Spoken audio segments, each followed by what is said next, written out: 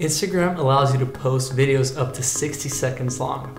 But how do I upload a video from my computer to my Instagram account? My name is Philippe Simões and I'm gonna teach you how to upload a video from your computer to an Instagram account.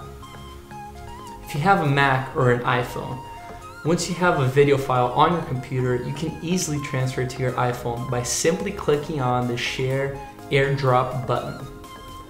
Make sure your iPhone has the AirDrop turned on to receive files. Just click on your iPhone and you will be good to go. If you have an Android or a PC, you can upload your video onto a Google Drive. Then access on your phone that same Google Drive file and you'll be able to click on the three dots on the side and scroll down to where it says download. You'll be able to download it on your phone and use it on any social media platform that you'd like. For more tips and tricks like these, visit briosmedia.com. I'll see you soon.